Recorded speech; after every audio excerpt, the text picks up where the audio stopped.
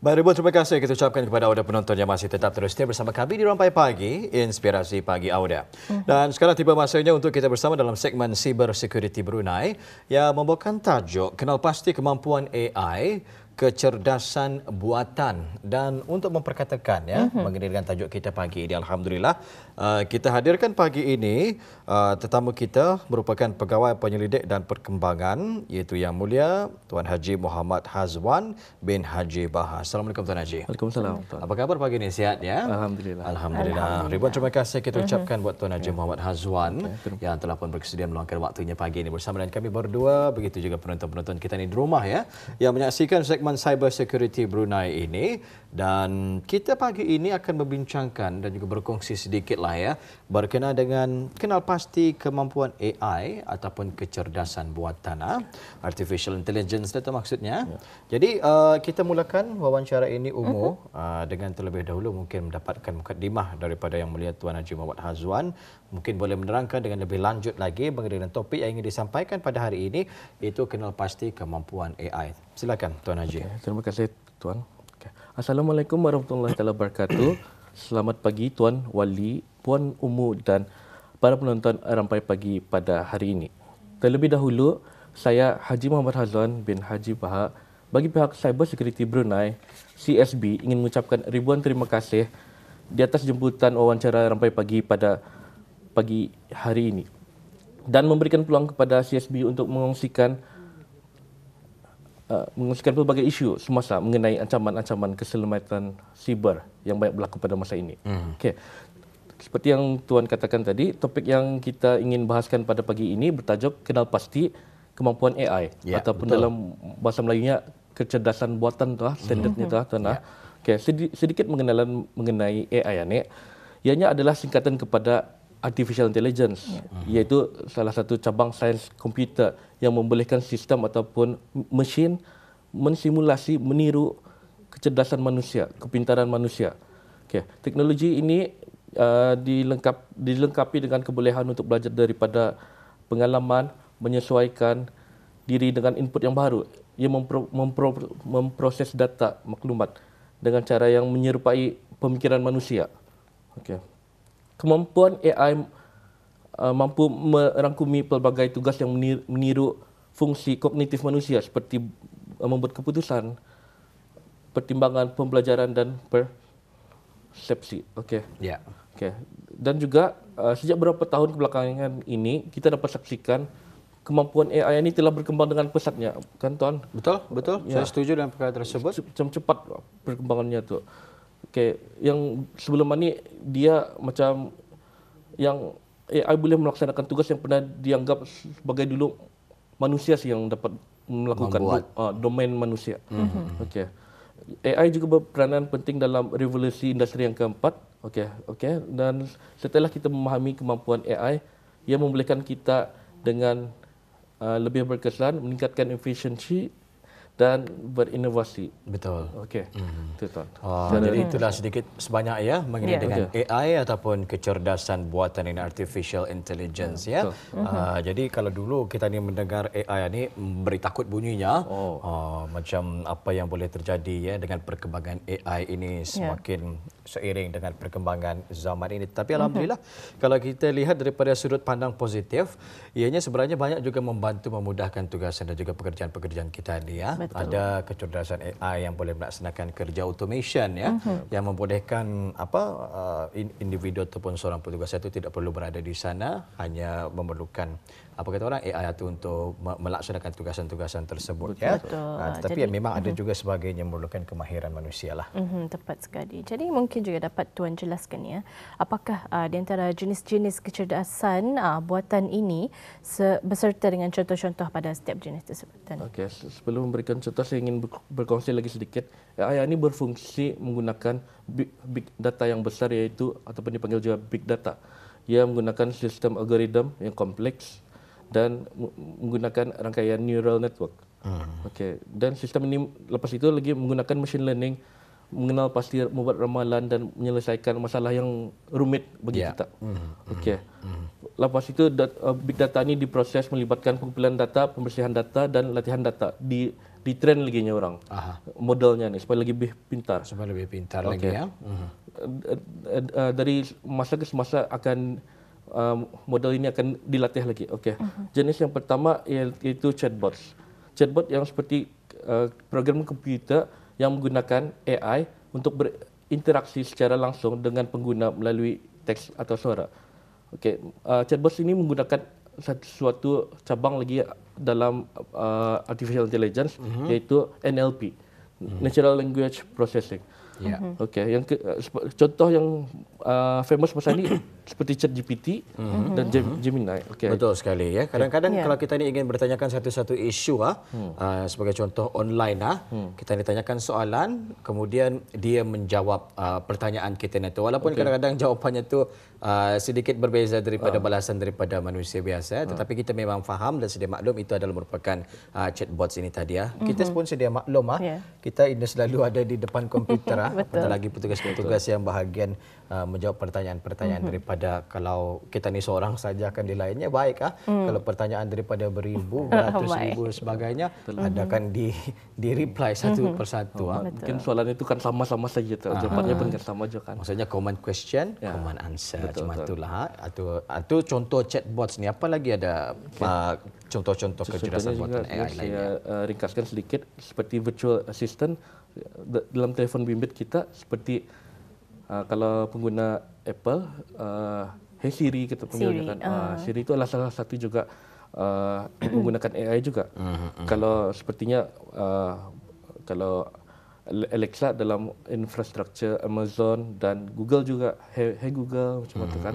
Okey, saya teruskan lagi uh, okey uh, keboleh kemampuan AI yang yang seterusnya iaitu pengecaman image iaitu di mana AI ini dapat orang mendi, me, mengenal pasti siapa muka ni berapa persen kan. Lepas tu pengesanan objek dan yang penting juga masa ni medical imaging dalam bidang dalam bidang uh, kesihatan. Ya, ya. okay, macam mendapat mendiagnos diagnosis orang itu apa ke, uh, kesa- kesakitannya ke okay. yang kedua AI ini dapat juga mengenerate image. Mencipta image Ya. dari teks. Juga itu image lepas ini uh, sama juga dengan video. Okey, okey. A- AI ini boleh juga membuat video daripada teks juga macam dari input tadi arahan tadi. Kalau kita ni buat macam ketawa, ha ha ha ha ha, ditukarnya menjadi image uh, emoticon ketawa. ah betul Ah, tanpa kita ni perlu menekan emoticon ketawa tersebut. Hanya cukup dengan menaip H A H A H A ha, ha. Jadi uh, apa peranti itu sudah faham yang sebenarnya tadi tertawa. Ah, betul, Ah, digantikannya dengan emoticon tertawa. Itu adalah antara contohnya ni tuan ya. ya antara contoh Hmm, baik. Uh, difahamkan juga ada kecerdasan buatan uh, pengesan penipuan. Macam mana AI ini boleh mengesan penipuan? Ya macam kalau ini ini penting kepada bank dan institusi, institusi kewangan. Ya, ya, ya. Macam kalau uh, banyak dari website ya macam karena kena hack dia kali apa Okey, yang anu okey. tu. Ya mungkin ya, kan saya cakapkan tadi AI ini menggunakan data yang besar. Data yang sudah, dilatih. Hmm, Ya. so dia dapat mengesan dari dat- data-data yang telah dilatih itu dia dapat mengesan ada pattern corak-corak analisisnya. Hmm, yang ini possible yang ini ya fraud detection penipuan. Okey, yang, okey. yang yang sedang digunakan oleh bank-bank Ah, kelazimannya ia punya ia punya prosedur macam mana macam mana macam mana macam mana. Kemudian tiba-tiba ada lagi ia punya algoritma yang lain lagi. Jadi mungkin di sana dapat dikesan ya uh, taktik-taktik penipuan ataupun Ya. mungkin uh, scam dan sebagainya ya. Dan yang Yang terakhir sekali tadi ialah mengenai dengan kenderaan otomatis. Mungkin dapat dikongsikan ni. Okey, se- secara ringkas ke- kenderaan otomatis ini kira macam dalam English termnya ni self driving car kan. Okey. Kereta tu memandu dirinya uh, diri sendiri. Nada nada driver lah dikatakan.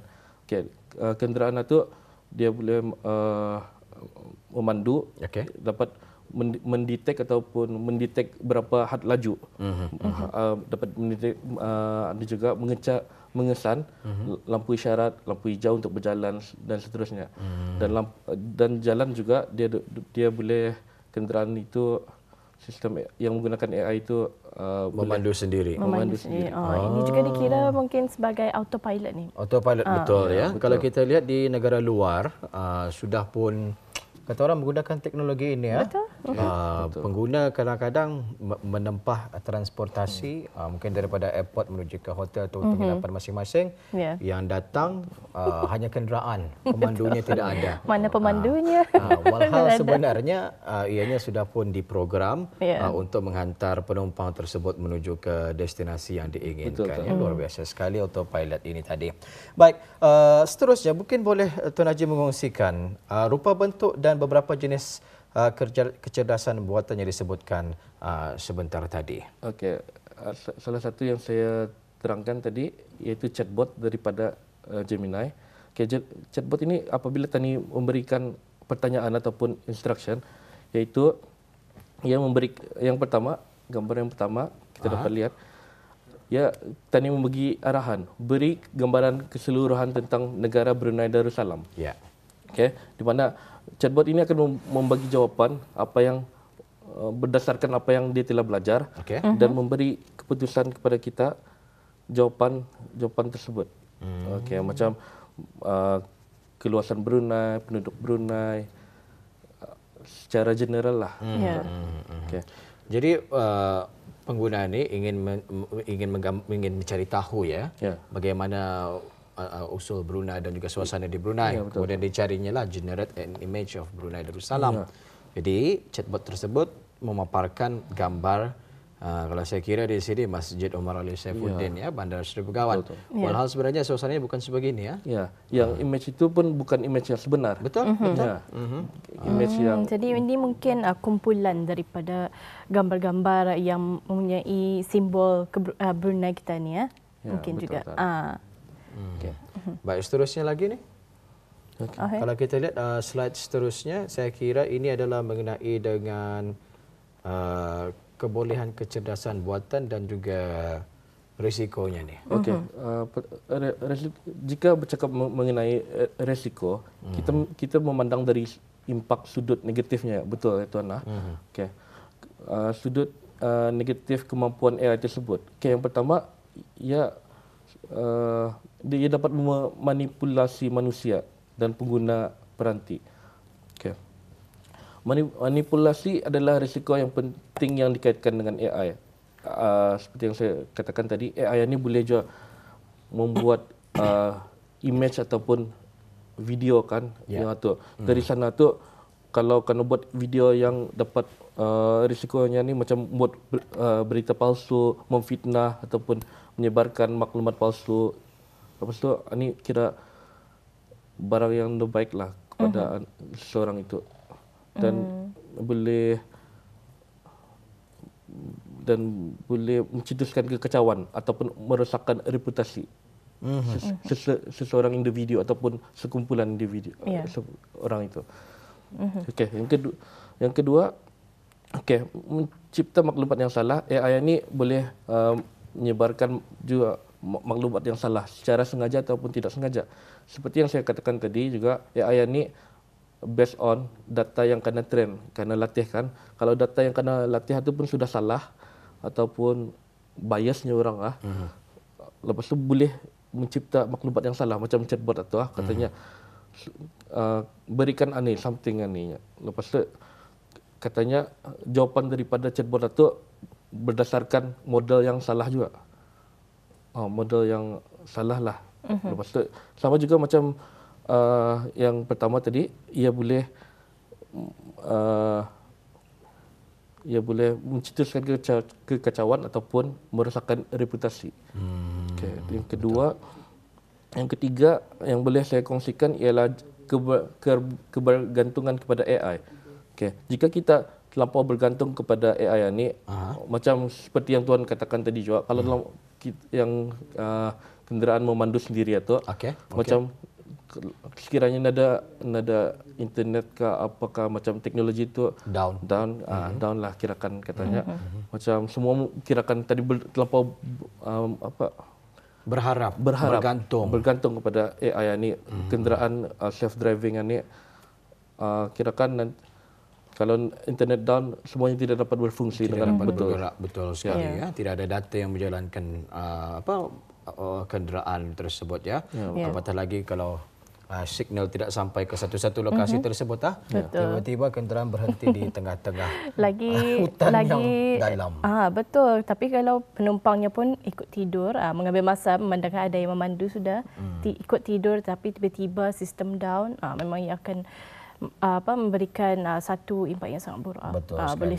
terjadi ah, kemalangan jalan raya dan juga sebagainya Betul. Baik, difahamkan juga kebolehan kecerdasan buatan ini dan juga risikonya adalah kebimbangan mengenai dengan privacy ya. Okey. Berkaitan AI. Mungkin Tuan Haji boleh uh, jelaskan lagi mengenai dan perkara tersebut. Okey, seperti kita macam dalam chatbot ini Okey. kita memasukkan data juga hmm. macam uh, bagaimana uh, uh, salah satunya ya- juga yang kisah yang terjadi di luar negeri hmm. adalah seseorang pekerja syarikat itu telah memasukkan uh, minit at- ataupun memo syarikat tersebut kepada chatbot ini lepas itu untuk mengenerate report yang adalah macam well written report report yang ber, yang detail lah hmm. orang kan lepas tu uh, kedapatan yang anu ni ada data leak.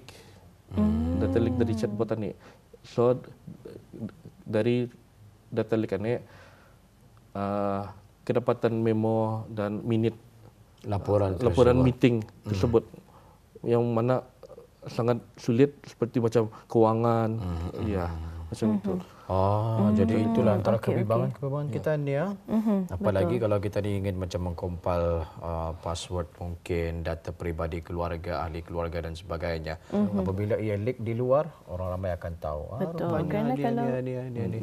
Dan itu mungkin ber, berkaitan dengan privacy data privacy Ya, kita tuan. ya. Ya, mhm. mungkin juga dapat ya kita ni tanyakan ya soalan seterusnya. Uh, mungkin dapat uh, tuan gambarkan uh, kebolehan kecerdasan uh, buatan ini.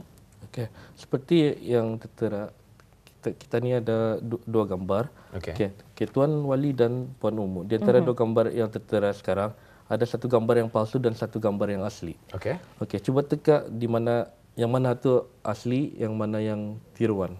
Saya rasa yang bercara Melayu mudah sedikit ini adalah yang palsu.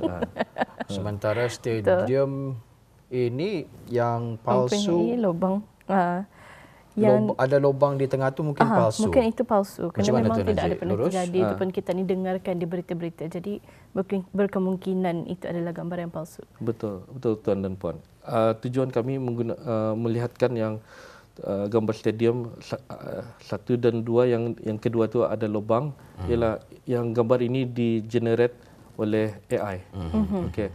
Yang uh, gambar stadium ada padang stadium ada lubang ini kami ingin melihatkan bahawa ini dijadikan oleh AI supaya barang ini possible dilakukan. Hmm. Supaya kalau orang men-share-sharenya lubang eh, macam benarnya gambaran ini kan kalau kita ni lihat So kalau supaya memberi kesedaran kepada orang juga hmm. yang AI mampu kemampuan AI ini boleh membuat mengedit gambar Ya. gambar tersebut. Ah, jadi ah, akhirnya ianya akan membuatkan kita ni sedikit kacau lah ya. Mhm, betul. Stadium berlubang ah. Ya.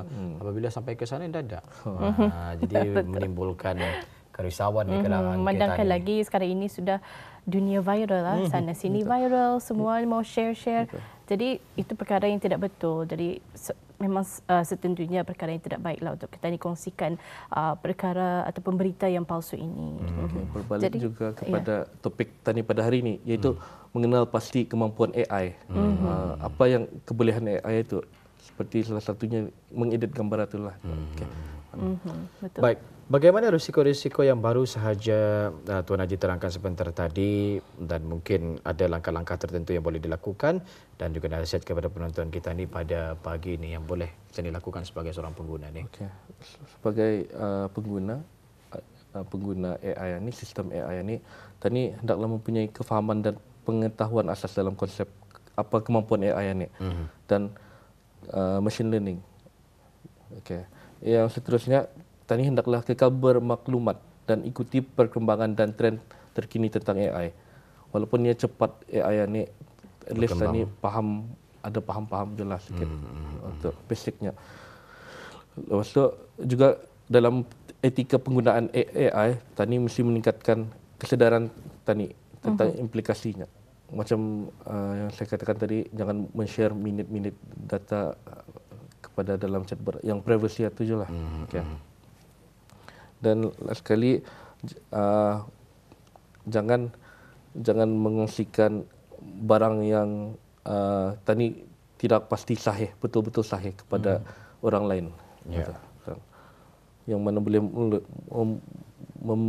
membagi implikasi kandungan yang negatif. Hmm, ya. hmm, hmm, Betul sekali ya. Jadi uh, itulah antara langkah berjaga-jaga yang hmm. boleh kita ni lakukannya dalam sama-sama meningkatkan kesedaran di kalangan kita ni Betul. akan betapa mampunya sebenarnya uh, AI ini kecerdasan buatan ini dan kita selaku pengguna sepatutnya berhemahlah ya, ya. Uh, dengan penggunaan teknologi AI yang saban tahun saban hari kita lihat semakin uh, berkembang ya. Betul. Jadi uh, untuk penghujung ruangan wawancara uh-huh. kita ini uh-huh. mungkin dapat juga kita ditanyakan ni ya bagaimana uh, jika pengguna ingin menghubungi habis kita untuk sebarang bantuan.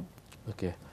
Berikut dikongsikan cara untuk melapor jika sekiranya terjadi insiden keselamatan cyber uh-huh. ataupun apa-apa minta nasihat daripada kami. Uh-huh. Uh, Cyber Security Brunei CSB. Uh-huh. Okey, habis kita boleh menghubungi menghubungi kami melalui uh, menghantar email kepada reporting@bruset.org.bn. Uh-huh uh, orang ramai boleh juga menelefon talian hotline 245 8002 yang beroperasi selama 24 jam. Dan juga kami ada juga boleh WhatsApp juga 717 0766 boleh menghantar uh, teks WhatsApp kepada kami jika ingin uh, bertanya soalan ke apa. Uh-huh. Okey, last sekali untuk berlumpat lebih lanjut orang ramai boleh melayari laman web rasmi kami cybersecurity Brunei di www.csb.gov.bn. Ya, baik alhamdulillah Betul. ya.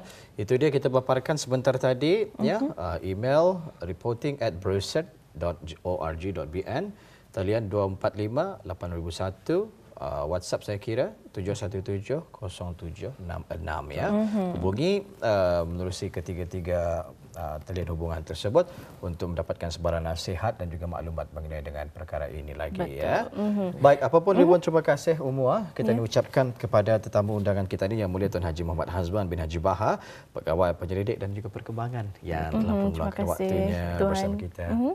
Kerana saya percaya uh, pengguna pun banyak uh, mendapatkan informasi yang bermanfaat ni mengenai dengan AI. Uh, hmm. Jadi dengan adanya uh, kehadiran uh, tuan di rampai pagi ini mungkin dapat memberikan uh, apa kebaikannya kepada uh, penonton kita ni di rampai pagi pada pagi ini. Jadi kami hmm. ucapkan terima kasih kerana sudi hadir di rampai pagi bersama kami. Uh, jadi kami uh, sampai jumpa lagi. Assalamualaikum. Waalaikumsalam.